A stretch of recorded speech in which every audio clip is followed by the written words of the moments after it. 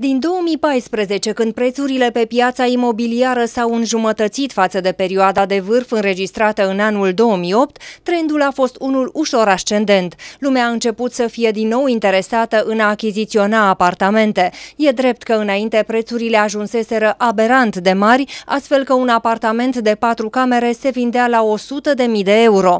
Revigorarea cererii a atras însă o creștere ușoară de prețuri, ce s-a remarcat încă de anul trecut au început să se vândă apartamentele din ce în ce uh, mai bine, dar odată cu uh, cumpărarea lor, cu uh, cererea, fiind cerere și ofertă, au început și un pic, un pic să urce prețurile din 2015 la apartamente. Dar cu toate astea, apartamentele se uh, vând, vin, vând, apartamentele cu toate astea se vând foarte bine, mai ales cele cu două camere.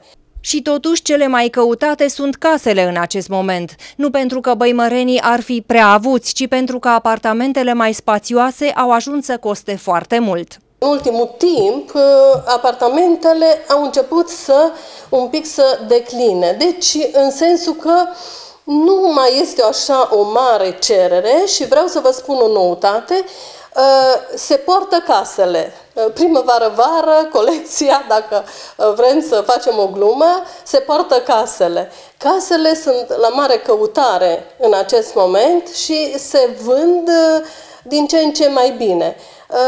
Asta poate pentru că prețurile sunt relativ mici față de apartamente. Nu cu mult, mai, uh, mai mari decât un apartament și atunci omul preferă să stea la casă. Probabil că prețul relativ accesibil al unor case în raport cu cel al apartamentelor din oraș este datorat și unui număr mare de astfel de unități locative construite anii trecuți.